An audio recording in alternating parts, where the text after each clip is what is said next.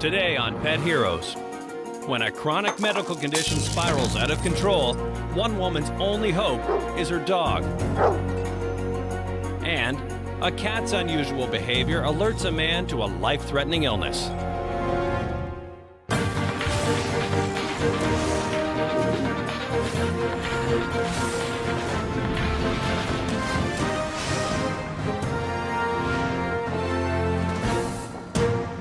I'm Jason McCoy, and welcome to Pet Heroes. With their masters' lives in danger, pets are often quick to intervene. But what happens when that threat is coming from within? We examine two stories of people who are facing life threatening medical emergencies and the animals who saved them. Linda Thompson has always been an avid dog lover. I do have a habit of bringing lost animals home. Um, done it my whole life. I grew up with um, really good parents. They were very understanding. Um, we always had dogs. It was mostly dogs. And they've all been unique in their own way, and they've all been great dogs. I think Mark Twain said it best when he said, if you pick up a starving dog and feed him, he won't bite you. And that's the principal difference between dog and man. These are my dogs, um, a number of the dogs that I've had over the years. That's Kaylee. This is Ursa, the last dog we had in the house prior to just having Emma. And then that's Kaylee again. That's a friend's dog, Christy. That's Tisa. That's Ben. And that's Kaya. She was found tied to the shelter door one night. She'd been abandoned. We got Emma in October of 1997. Uh, she was seven months old. She is the most tenacious dog I've ever seen. She, she will not back down, even now. And so she became Hurricane Emma. We don't treat her like she's a dog at all. And she doesn't know she's a dog. She thinks she's a little person in a fur coat. She was found outside of Hope, BC. Uh, someone found her in the bush with baling wire tied around her muzzle. We estimate that she was alone for three or four weeks. She had managed to get her mouth open enough that she could get water, but she couldn't eat. So she was very malnourished and actually suffered from rickets. When I got her, her, her muzzle was still kind of like raw hamburger. It hadn't healed. She has a granulated scar across her muzzle that you can see to this day. It just, the hair never grew back because it was so deep. Because of the rickets, she developed um, very bowed rear legs and eventually had to have both cruciate ligaments repaired in both knees. I, I can't come up with any reason for why you do that to a six-month-old puppy. A dedicated animal rescuer, Linda has facilitated the rescue of over 50 dogs. Emma's stay was not intended to be permanent. I told my husband that we'd find her a home and that I would start working on it. But within a few days, it became clear she wasn't going anywhere. And he fell in love with her very quickly. In 1995, Linda was diagnosed with a life threatening illness an autoimmune disease called systemic sarcoidosis. He's supposed to attack your lungs. In my case, it was very serious. It attacked my liver, my spine, and it also attacked my pancreas, leading me with type 1 diabetes, so I'm insulin dependent. Type 1 diabetes is a disease that presents in the young, typically under the age of 35, uh, and it requires insulin therapy. Without insulin, every person with type 1 diabetes will die within 12 months. Linda has had a very special device to help her with her diabetes. It's called a, an insulin pump sensor uh, combination. Um, the insulin pump infuses insulin into her body at a rate that she determines. I wear it here. It's uh, attached to my body by a, a an, what's called an infusion set, and there's a cannula that sits under the skin here that delivers insulin. This is the reservoir that holds the insulin, and it's delivered through this tube. Besides the insulin pump, Linda has a glucometer to test her insulin levels and glucose pills to bring her blood sugar up. She incorporates all of these, as well as the medicine she takes for her autoimmune disorder, into her daily life. The first five years that I, I had the disease, I was okay. You know, I get sick now and then, but it wasn't a big deal. But in 2000, things started to, to go downhill. I nearly died twice. I crashed five times.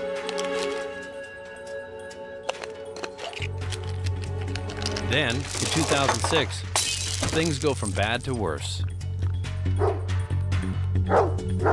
I suffered a multi-system organ failure oh, and was in a coma for three and a half weeks and in ICU for five and a half weeks.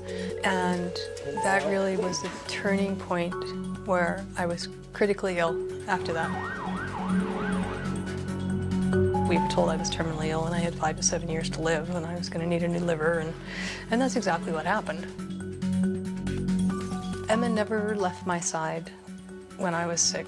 From March of 2006, when I was critically ill, until, well, until now. I mean, she's, she is my shadow. I was on death's door for probably the better part of two years, uh, two and a half years. The pattern of Linda's illness becomes tragically regular.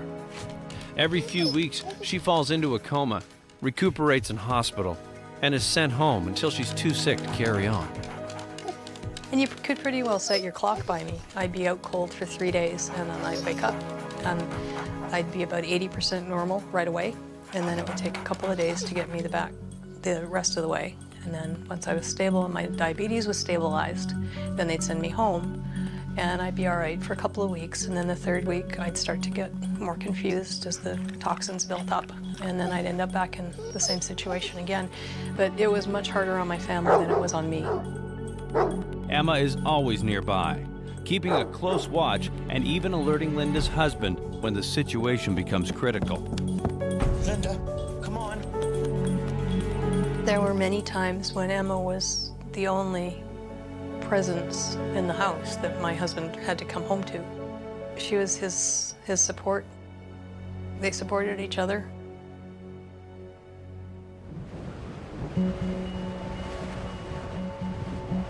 A blustery night in October 2009 is one like any other in Linda's touch and go existence.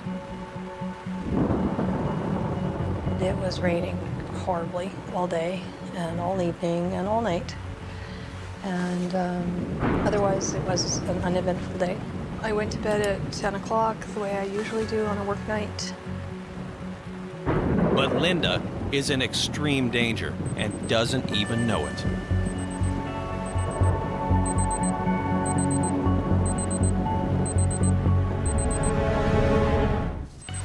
The alarm on Linda Thompson's insulin monitor rings out. Her blood sugar levels have reached a dangerous low. But Linda, still half asleep, switches it off without realizing what she's done.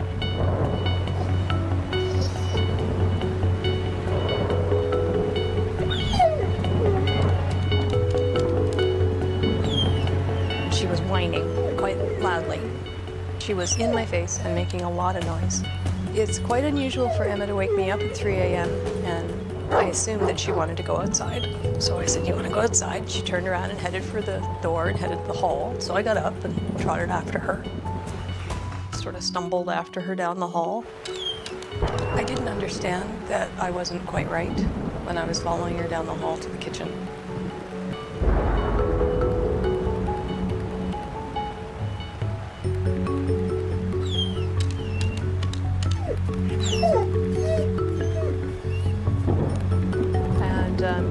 Got as far as the counter in the kitchen, and the dog wouldn't go past the counter. Uh, I thought perhaps rather than going out, she wanted uh, food or water, but her bowls were both full. So I knew it wasn't that. So I kind of urged her on and said, Go on, go on, go on, and she wouldn't go. And um, then I finally realized that A, my vision was very blotchy, and black, big black spots in front of my eyes, and that I was really quite, quite out of it. And my kind of befuddledness, I noticed that she was looking at the glucometer, the meter that I used to check my blood sugar level. Wendy McClellan, a doctor of veterinary medicine, offers her unique perspective on animal behavior. When pets like Emma spend so much time with someone, they're able to detect minute changes in behavior and scent. And Emma has learned that these small changes can have dire effects for Linda. And that is why Emma sticks so close by Linda's side. I tested my blood sugar, and it was critically low. Very, very low. If it had been any lower, I likely would have blacked out. Or not awakened at all. The typical procedure when you have a, a, low blood sugar like I had is to take glucose tablets. They very quickly dissolve in your mouth. So I took four of those. In this case, Emma is probably picking up on one of two things. Hypoglycemia, which is low blood sugar, can have a certain scent which Emma could pick up on Linda's breath. The other thing that Emma is likely picking up on is small changes in Linda's behavior, whether it's a bit of shakiness, unsteadiness that Linda may not yet recognize herself. With her blood sugar up, the problem is solved. Or so Linda thinks. At which point, uh, after I tested my blood sugar, the dog immediately went outside and in the pouring rain at 3 a.m., laid down in the grass and wouldn't come back. Normally, she would run out, do her business, and then run back in as fast as her little legs could carry her. She laid out there for 15 or 20 minutes. Frankly, I was a little annoyed because it was three o'clock in the morning and I just wanted to go back to bed. And it was it was raining very hard, so I mean I, I knew something was up because it's very out of character for her to do that. So I knew something was wrong. Eventually I was in the process of getting my shoes when she came back in. And then I wiped her off with a towel. But when Linda tries to return to bed, Emma again stops at the kitchen counter and stares at her glucometer. She wouldn't let me go back to bed. I've been known to go out and get a couple of glucose tablets and eat them and then go straight back to bed without testing to make sure I was okay. You typically would wait 15 minutes and then retest your blood. So she wouldn't let me go back to bed until she made sure that I had actually dealt with it. And so I tested my blood sugar a second time and I said to her, it's okay, it's fine. And then she just trotted off down the hall and went back to bed. So, by watching Linda closely, Emma was able to understand the process that led to the scent going away. And that's what helped save Linda from a potentially fatal coma. Emma would not let Linda return to bed until that scent was gone. Dr. Michael McCulloch is the director of research at the Pine Street Institute in California, where he's looking into the link between animals and early disease detection. The theory is based on the uh, idea that an, one animal knows the health status of another animal by smell. When dogs are uh, trained to help individuals with diabetes, they're testing for the compound uh, called ketones that come out in the urine or in the perspiration. We think that the dog just has a keen sense for what's a person's normal operating range, and that anything that goes outside of that range, those animals are going to be uh, disturbed by that and alerted to it. We were ecstatically surprised by the high degree of accuracy of the animals. So if it hadn't been for Emma, I'm really not too sure what would have happened that night. It could have ended very badly. I don't believe she alerted to the alarm. I believe that the dog alerts to uh, some sort of scent. The, the, little bit of research that I've done on hypo-alert dogs, which is actually what she is, uh, indicates that it is some scent-oriented. Linda also asserts that Emma, having observed her testing and medication rituals for so long, knew everything about them, including what to do when trouble struck. The dog has me trained so that if um, she comes in and she whines, the first thing I do is I check my blood with my glucometer. In 2009, Linda received a new liver, and with it, a new lease on life. She now works as a diabetes case manager, helping others cope with the disease. My liver is very happy. I have no sign of rejection. I, I just have a brand new life. I've never been so happy or so fulfilled, and I love my work, and, and it's great. We were very lucky that we got her. Um, but I guess you could say that we saved her, sure. And I definitely think she saved me, no question in my mind. She's amazing. She's just amazing. Sadly, not long after we completed filming, Emma passed away. Linda will always remember Emma not just for saving her life, but for being a loyal and beloved member of the family. We just saw how one dog's keen sense was able to prevent a woman from slipping into a diabetic coma. Next, we examine the story of Lionel Adams and his cat Tiger. Lionel Adams and Carrie Parker have been together for the last 15 years. They live with their two cats, Oliver and Tiger. Uh, we got Oliver, who's a Siamese tabby cross, and we got Tiger, who's a tabby, orange tabby. They're big babies. Tiger's a daddy's boy, Oliver's a mama's boy. But yeah, they're very protective. A lot of nights when I come in the house, he'll meet me at the door, and then I'll sit down on the couch, and the first thing you know, he's in my lap. Come on, Dad, give me some loving. You know, like like right now. I picked him up, and he's happy. He just wants to be petted, wants to be loved.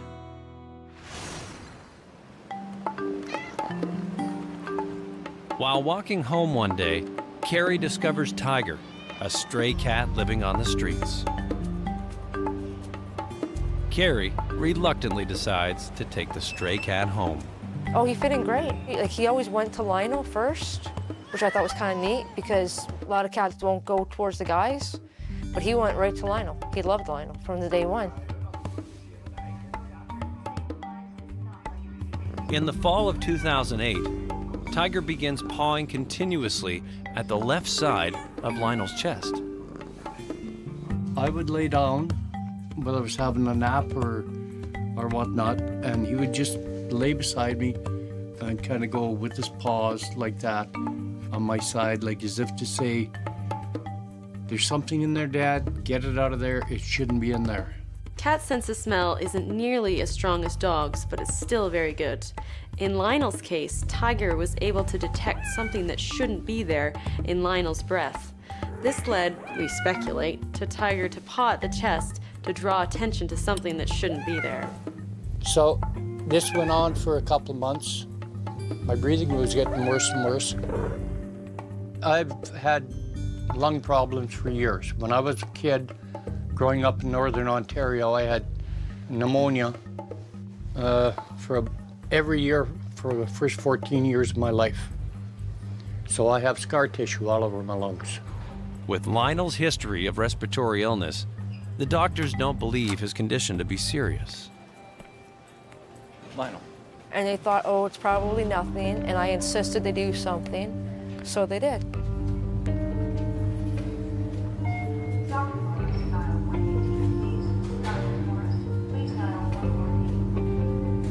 Well, they started off with the x-rays, normal x-rays and CAT scan. They did a couple of CAT scans and that's when they noticed something on the left side. After a long series of testing, doctors have discovered stage one lung cancer. Yeah, the doctors were very surprised because where they where the cancer was was right where the tiger was pawing. So in January of 2009, they had openings at the Foothills Hospital and decided to uh, take it out. Pine Street Foundation was founded in 1989, and early detection uh, tests for cancer was one of our early motivations uh, in this organization. The way that we think that animals are spontaneously detecting uh, cancer in their and human companions is that they probably know the human very well and therefore have established a baseline. When everything's good, when the person is in good spirits and good health, they smell like this. If they get uh, upset or disturbed or become ill, they're going to smell different. Uh, that's the net result of all the different physiological processes in the body that are involved in illness and the body's response to that illness. There's going to be something biologically different about that human that the animal is going to notice and in many cases be disturbed by. Lionel's cancer is successfully removed, and he's able to return home to Carrie and Tiger. Cats generally aren't as social as dogs, so Lionel was very fortunate that him and Tiger had formed such a close relationship. This close relationship is what allowed Tiger to detect Lionel's cancer. The animals have shown us proof of principle. Proof of principle uh, that illness can be detect- detected by odor.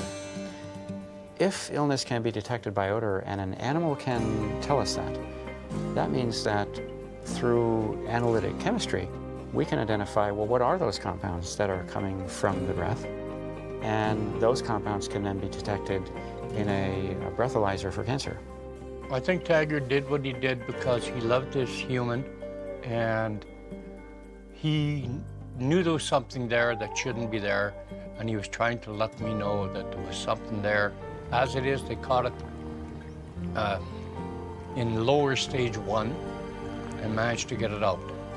If it had gone on for another seven or eight months, like the specialist at the hospital told me, it could have gotten worse. And I've been cancer free now for a year and a half. And I'm not having any symptoms, and I still think it's because of the cat, because of Tiger.